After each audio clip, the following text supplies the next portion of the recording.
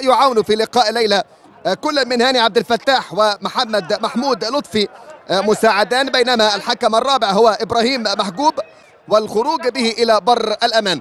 الزمالك تحت قيادة نيبوشا المونتينيجري يب لاعب فريق طلائع الجيش قبل كده وده الموسم الأول له مع فريق بتروجيت بيلعب في الأساس ظهير أيمن لكن النهارده بيلعب في مركز الظهير الأيسر عرضية تصل لما كولين داخل منطقة الجزاء خطيرة يلعبها لكن بألوان فريق الدجلاوي فريق وادي دجلة. مدبولي امتلك المهاره يعدي من واحد والثاني. تقدم في جهة اليسار دخول لمنطقة الجزاء. عرضية برأسية محاوله خطيرة. ما زالت مستمرة لكن عمرو حسام يتألق. حارس المرمى ثقة من عصام صبحي اللي بيلعب في جهة اليسار. رؤى يلعب عرضية خطيرة. مدبولي تصل إليه داخل منطقة الجزاء. ربما نشتم لرائحة هدف ولكن لعبها على رأس كاسونجو بعيدة إلى خارج الملعب.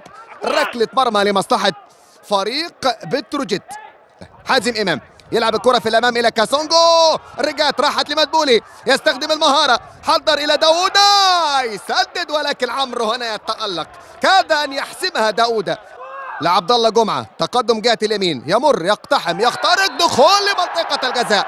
والحكم محمد الصباحي. هنا يصدر القرار. يأتي بفرمان. ويحتسب ركلة جزاء مع الدقيقة 29 طوال ال 30 دقيقة. هل سيكون هناك ردة الفعل؟ الله! أوه! داخل المرمى. محمود علاء يفعلها. محمود علاء يسجل بعد متابعة لكرة ارتدت من حارس المرمى عمرو حسام ليفتتح النتيجة والتهديف للقافلة البيضاء للبيت الأبيض.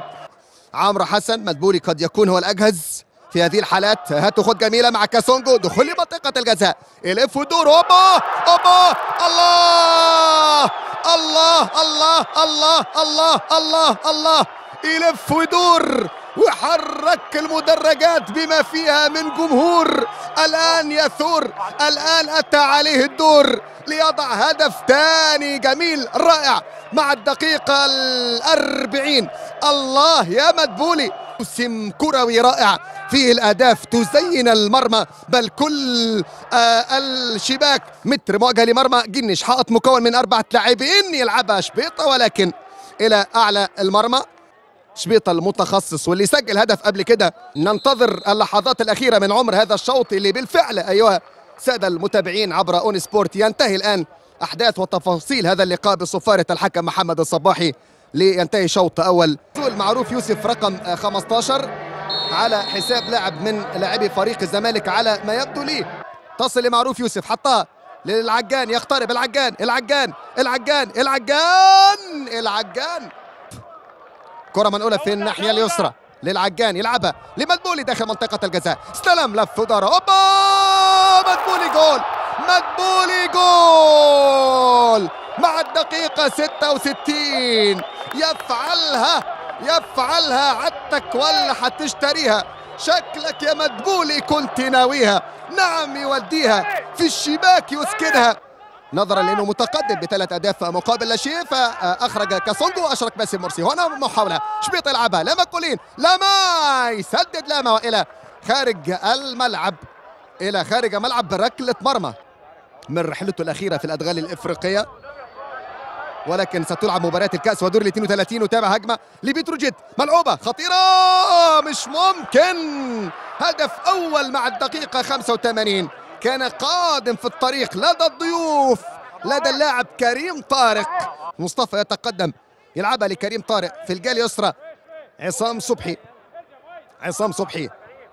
لبكلي إلى كريم طارق داخل منطقة الجزاء. عرضية إلى ركنية.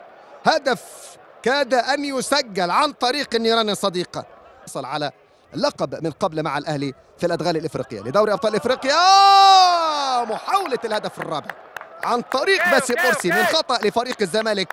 كرة على رأس محمود علاء حضرها إلى باسم المصري بورسعيدي في الجولة الثانية بهدف واحد مقابل لا شيء. هنا في هذه الأثناء يأتي محمد الصباحي حكم المباراة ويطلق صفاره النهايه ويفوز الزمالك بثلاث أهداف مقابل لا شيء. مدبولي سجل هدفين ومن افتتح النتيجة هو محمود علاء. بينما بتروجيت لم يسجل. مبروك لفريق الزمالك. الفوز في هذا اللقاء حظ أوفر لفريق بتروجيت في اللقاءات المقبلة.